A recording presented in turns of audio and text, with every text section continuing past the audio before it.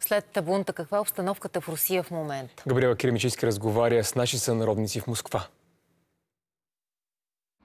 Малко преди 4 след обед. Наш сънародник, който от години живее в руската столица, ни показва каква е атмосферата в момента там.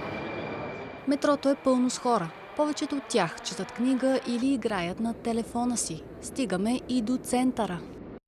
Обстановката преди два дена беше малко напрегната, но а, всичко сега е спокойно. Не мисля, че много са се притеснявали хората. Не всичко обаче работи. Намираме се на Никольска улица, която се влива в а, Червения площад. Обстановката е абсолютно спокойна, много туристи, но Кремъл, както се вижда, е затворен. Червения площад е затворен, няма път до там.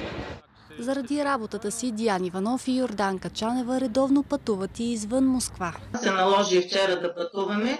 Единствено бяхме притеснени да няма задръствания по улиците, но всичко беше много спокойно. Няма по бензиностанциите коли, да не говорим, че няма и опашки. А, общо взето, вероятно това се е случило само в Ростов.